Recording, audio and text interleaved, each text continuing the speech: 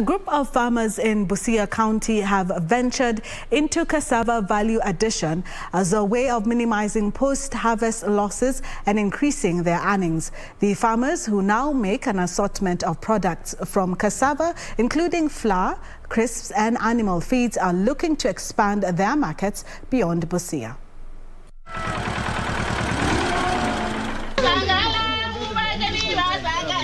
Cassava is an important crop for smallholder farmers as it's less labor intensive and drought resistant. Despite its high nutritional value over the years, Busia residents have been viewing cassava as a poor man's food, with the crop mostly grown for subsistence use. Cassava roots contain a lot of moisture and once harvested, they can rot quickly, with the fresh roots barely lasting for two days.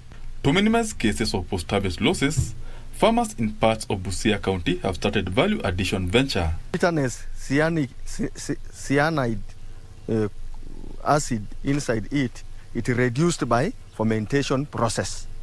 And then after that, after fermentation, you clean, you wash it, you crush, then you put on the sun. After drying, you prepare for ugali. The farmers process cassava to produce snacks, flour, and animal feeds.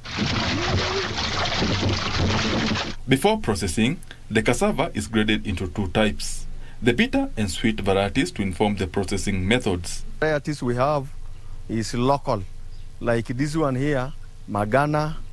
We have Magana is a bitter variety that we know. Magana, it takes long to mature.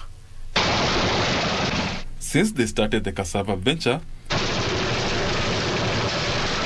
the farmers who mainly comprise of women have been overwhelmed by the demand of processed cassava bread and crepes. This has forced them to source for produce from neighboring regional farms to satisfy their demand.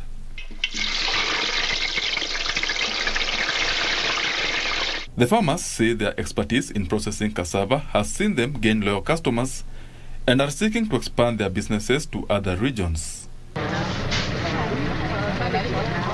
The cassava processing, they say, has also reduced cases of aflatoxin contamination in the area.